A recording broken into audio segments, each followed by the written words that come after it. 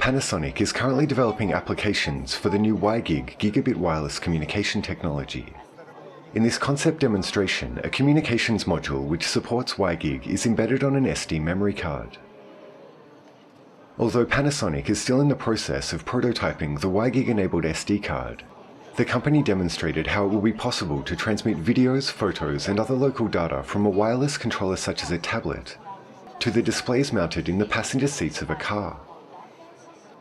At gigabit speeds, it will be possible to wirelessly transfer a full DVD video in one minute. The tablet can also connect with the car's computer, so the user can easily see relevant information such as battery capacity and tire pressure. Panasonic's WiGig implementation uses the 60 GHz spectrum to transmit data at gigabit speeds, but it is limited to a range of 1 to 3 meters.